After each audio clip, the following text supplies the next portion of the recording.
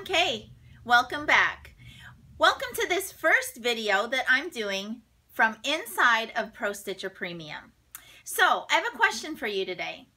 Are you ever working at your machine and you do something and you have a little aha moment? I'm actually sure that your answer is yes right now because we're all working with this new update, right? And we're hypersensitive to the new functionality and how it looks and where we're finding all the buttons and the tabs.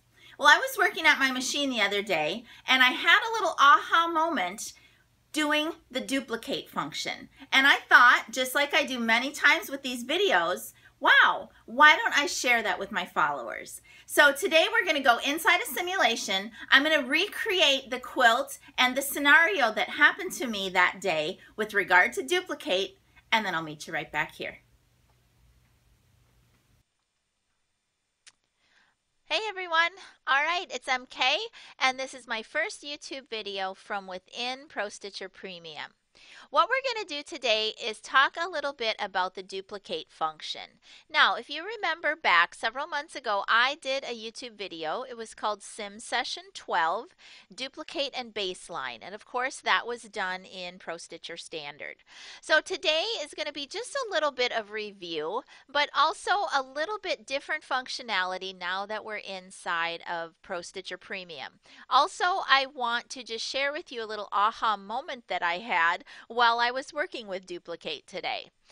Second thing is what you're looking at on the screen is just a little line drawing, which is meant to be a visual representation of the little quilt that I was working on in my studio today. All right, so I had loaded it up, I had stitched my top border, and then I had moved on and started stitching my little cornerstone motifs here. And it was during that process that I had my little aha moment, which I didn't know before. So what I'm about to explain to you, I'll have to apologize if it was painfully obvious and you already know this.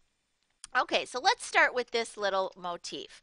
I opened up this little sash motif, and the first thing that I like to do when I'm working with sashes is I kind of like to loosely place it where it belongs. Okay, so I got to put my machine in sim here. You would grab your handlebars if you were working at your quilt, and you would come into position and I want to loosely place this now up where my needle, my crosshairs are, which is where my needle is. So I would go under modify, reposition, and let's go ahead and reposition on the start point.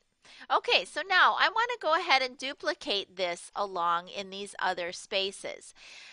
In days gone by, I would just go ahead and multi-point mark this area. I would skew this little motif, I would baseline, I would save, I would stitch. And then I would move on to the next sash, open it up again, multi-point mark, skew, baseline, save, stitch. Okay, I would do that all the way across.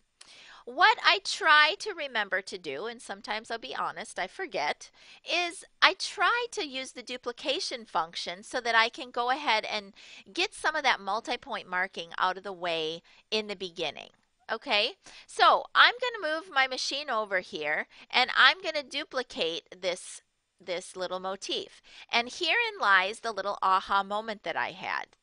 If you watch that other YouTube video, we talk about duplication and we talk about just duplicate it wherever you are and it'll appear on the screen and then you can go ahead and place them later. Well, I realized today that if I move my machine before I duplicate and then I hit that button, it will duplicate it where my needle is. And that can help immensely to keep your screen a little bit more organized, right? If you duplicate with your machine in a different location, it may be a little jumbled. You may have one duplicating right on top of the other. Okay, we also have edit and copy and paste now, but I haven't really started using that too much at this early stage of the ball game with premium. So I'm going to continue on with duplicate. Okay, the next thing I like to do with my sash units, and especially in this particular little quilt, is I don't want them to be all exactly the same in each one of these locations. So I'm going to stop right now. I'm going to go into rotate, and I'm going to mirror and flip that little guy, and those functions are over here on the right. And then I want to go ahead and swap my start and end point, which is up there at the top. Okay, we're good to go. Now I want to move along and go to the next space and I'm going to duplicate again.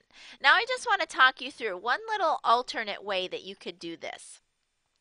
If right now you went back over and selected this little little unit right here and duplicated it over here, it would be in the right orientation, right? Following my line of thinking of having every other one be oriented differently. But the trouble with that is it's going to put the stitch order in a different order if you do it that way, okay? And it's not that that's wrong or that's bad if you understand what's happening. I just prefer to stitch that one and then this one and then this one and then this one, keeping them in the same order as I'm duplicating them, okay? So I'm just going to move my machine over here. This is the last one that I had selected. I'm going to go ahead and duplicate it really quickly. I'll do that mirror and and flip and swap the start and end point. One more time, I'm going to move my machine into position and then I'll do the duplicate, rotate, mirror and flip it and swap the start and end point. Okay, now I have multiple ones on the list. They've been duplicated in the proper order. Now I'm going to go back over here or I could start at the right hand side. It really doesn't matter. I'm just kind of a creature of habit. So I usually go back over to the left. Let's select that first motif, which is this one on the list. And I'm going to be selecting from the workspace rather than trying to select over here, only because I'm working with this line drawing and sometimes I select the wrong thing. Okay, and I, I love the new workspace listing of the patterns that I'm working with now anyhow. So let's go back and select the first one on the list and we would do our multi-point marking. Okay, so I'm going to do this a little bit quickly here so that we can move on. Whoops, there I did it again. I have to put my machine in simulation mode before I go to move. And I can see I'm getting ahead of myself, aren't I? I still had my area open from over here. Well, we don't want that. So let's go ahead and clear the area and then we'll start over. Okay, so even even MK, you know, I get a little ahead of myself sometimes and I just forgot that one little step. But no problem. Clear the area and start over. All right.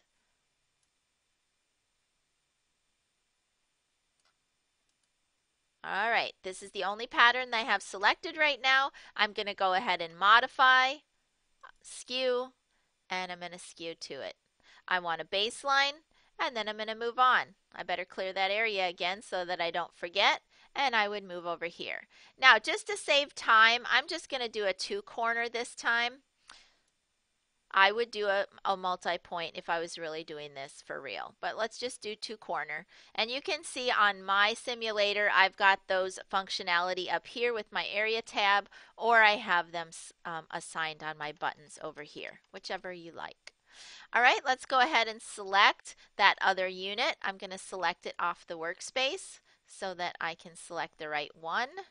There we go, that one. And then we'll modify, we'll skew, and skew 2 is what I'm normally using. And then we'll baseline. Let's clear the area and we'll move on. There, I did it again.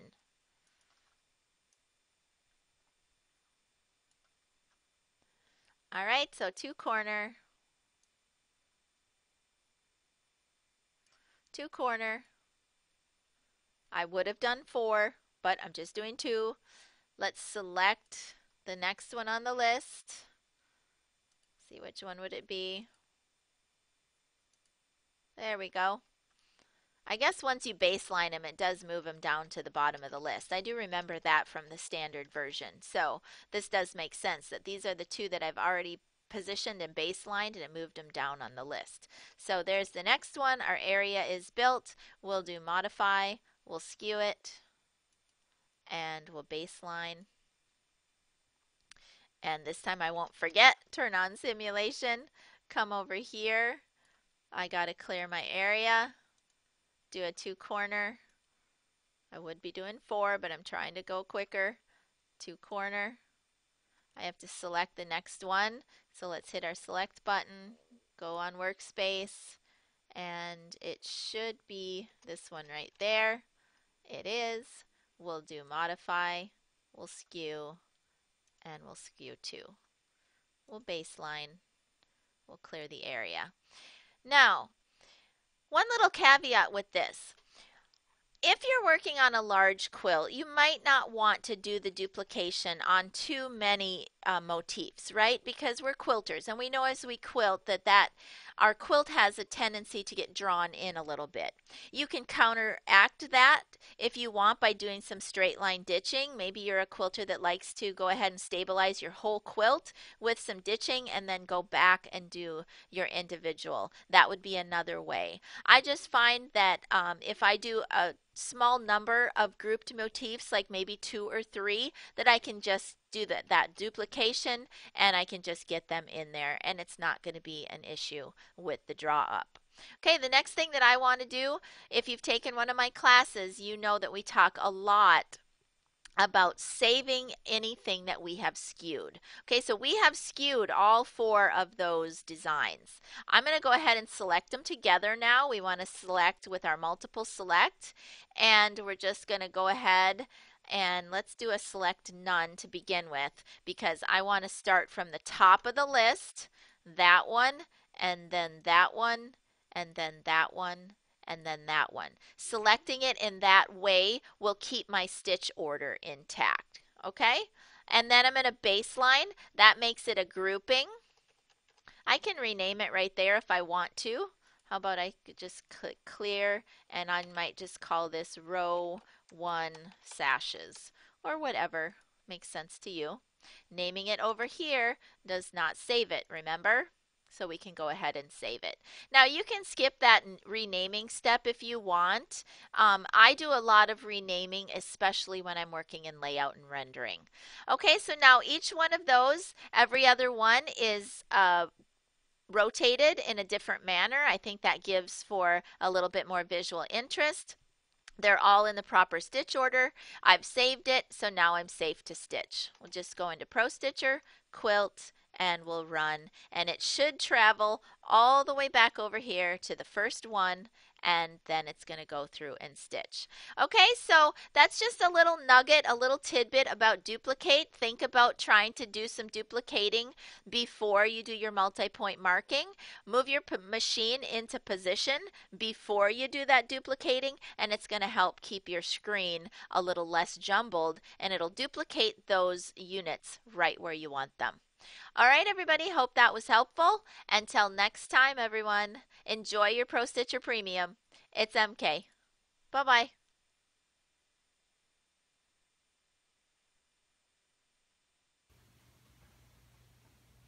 All right, so there you have it. Duplicate is a very powerful function, and I have been using it a lot over the last several years, especially when I'm doing my layout and rendering. This day I was actually doing it at my quilt and that's when I realized that the position of the machine does actually make a difference when you duplicate something.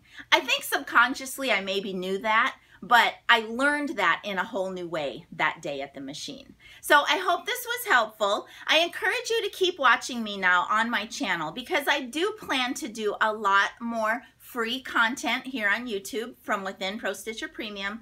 Plus, I plan on doing much more in the way of live webinars, recorded webinars, small group sessions, one-on-ones, all of those types of things. So you guys, thanks for following me. Stay plugged in. And until next time, everybody, from MK to you, happy quilting.